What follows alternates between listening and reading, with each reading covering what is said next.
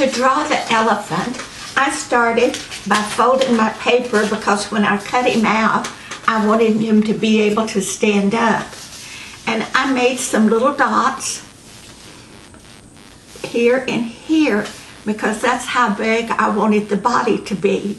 And then I made a little V shape here that would indicate the, the space between the body and the head.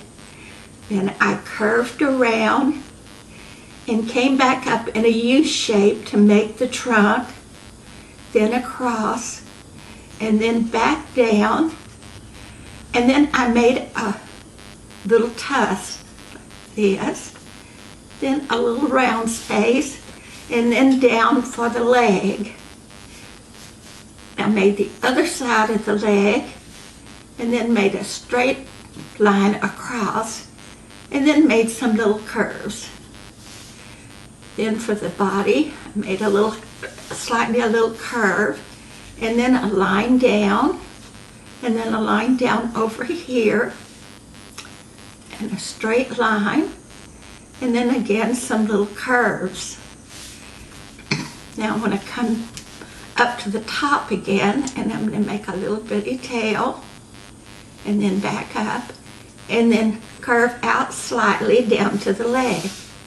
Then I'm going to come back and draw the ear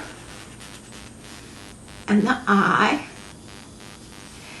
Then I'm going to add a few lines, and you can do this as you like to just make some texture. And then it's ready to cut out. Now to make the, the giraffe, I folded the paper sideways because the draft is so tall. I'm going to start at the top,